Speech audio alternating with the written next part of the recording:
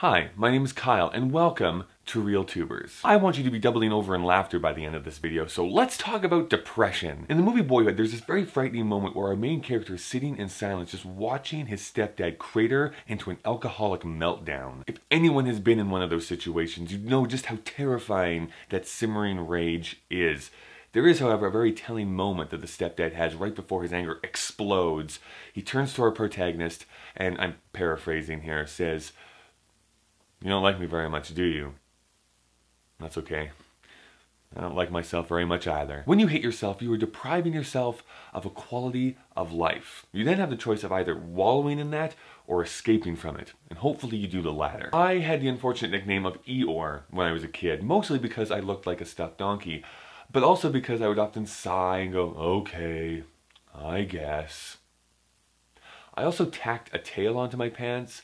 I I was weird and that was a thing. Everyone has those Eeyore moments, I think.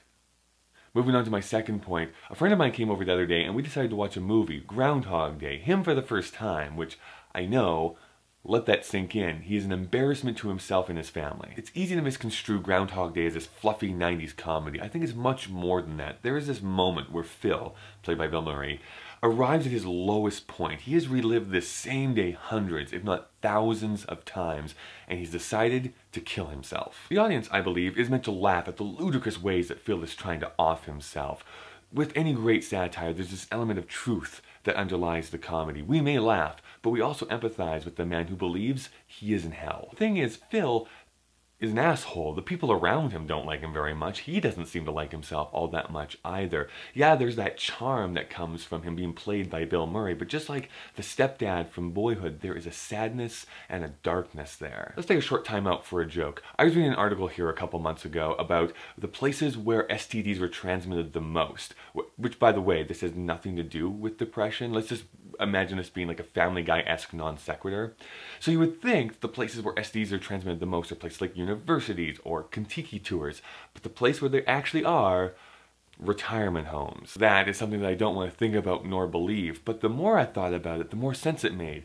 Where else would dust come from? Insert your own rim shot here. These two characters attack their self-loathing in two very different ways. The stepdad tries to find himself at the bottom of a bottle, whereas Phil, after just letting go of his insecurities and concerning himself about himself, he's able to open himself up and become a better person by helping other people. That's not to say that those suffering from depression can simply just get out of it by helping other people. Sometimes you need to seek help. However, wallowing in self-pity is never a good thing. When you hate yourself and truly believe that you are a bad person, you're not just hurting yourself, but those around you. Getting better means an improved life not just for you, but for friends, family, acquaintances, that barista who only needs to remember two pumps of vanilla. Two pumps! How many times do I have to say it? Seek the help you need. Believe that you are worth it. Don't be a stepdad. Be a Phil. Uh, but, but a Phil at the, uh, at the end of the movie, not is my metaphor becoming muddled? I think it is. My point is that Bill Murray is amazing, and I have no idea what accent Andie MacDowell is trying to do. But what do you think? If someone hates themselves, what should they do? What do you do? Thank you so much for watching. My name is Kyle. You can watch my videos every Thursday over on my channel. ReelTubers will have another very pretty face here next Wednesday.